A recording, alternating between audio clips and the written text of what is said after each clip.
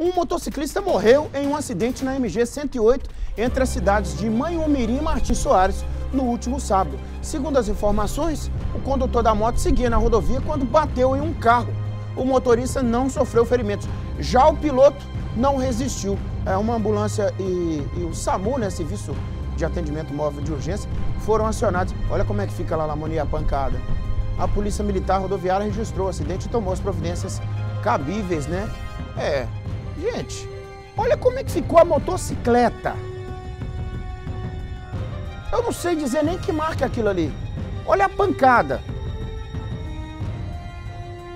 Nossa, Deus do céu. É uma colisão que é, nas áreas urbanas já gera um problema seríssimo para o motociclista. Imagina em rodovias, né? Em estradas, em BRs.